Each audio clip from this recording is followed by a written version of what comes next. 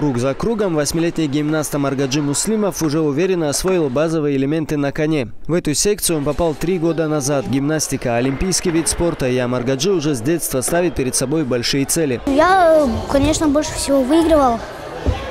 У меня четыре медали, первое место. На какие соревнования ездил, куда? Ингушетия, Нальчик.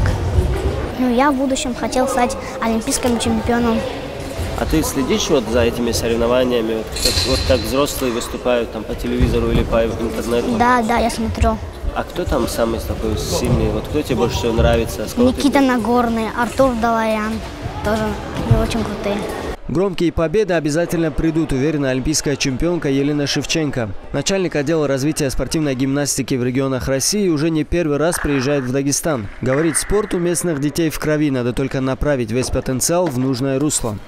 Мальчик подошел, на тренер, да, с мальчиком, как бы говорит, ну вот, покажи нам, ну там элемент гимнастический, фляг. У него глаза загорелись, да, вначале испугался, а потом загорелись глаза. И, собственно, видно, что, ну, он боится, ну, как бы, да, вот показать, да, стесняется, может быть, там что-то неправильно сделает или еще что-то. Но когда он сделал, я тоже говорю, так это здорово, говорю, тебя тренер научил такие фляги хорошие делать, да. Ты видишь, ну, в детских глазах вот этот интерес и желание, ну, это дорогого стоит.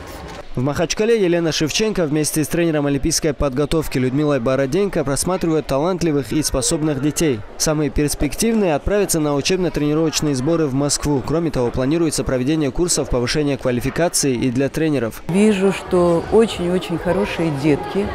Просто надо развиваться, надо э, вызывать людей, которые этот зал бы нарисовали правильно, поставили бы правильные снаряды и вызывать специалистов, которые бы э, проводили бы курсы обучения.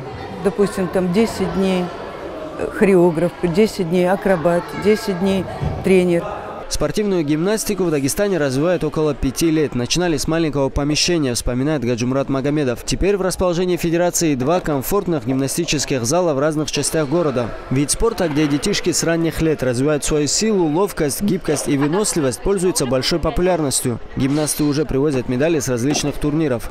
ездили пока по СКФО, а вот в прошлом году ездили и по России, где вот э, в 2019 году мы ездили в Москву, это была у нас Лига гимнастика, Всероссийская лига гимнастика, где мы там заняли и первые места, и общекомандные э, по третьему юношескому разряду, которые заняли первое место.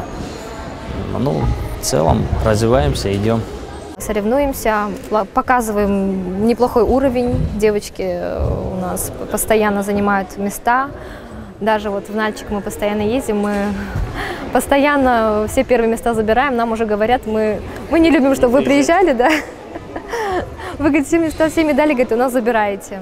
На встрече с министром спорта Сажидом Сажидовым гости выступили с предложениями по дальнейшему становлению гимнастики в регионе. Обучающие курсы, мастер-классы и сборы дадут новый импульс развитию дисциплины. Глава спортивного ведомства заверил, что готов поддержать все предложения.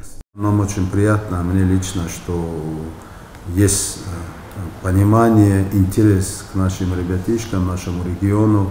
Сегодня наш э, глава Сергей Иванович Меликов, он ставит такую задачу, он сам любит спорт, э, и массовый спорт, что мы развивали, и именно такие олимпийские виды спорта. Я в этом как только как не только как министр спорта, и как помощник будет готов быть рядом и помогать. Курбан Рагимов, Магомед Расул Магомедов, телеканал ННТ, Махачкала.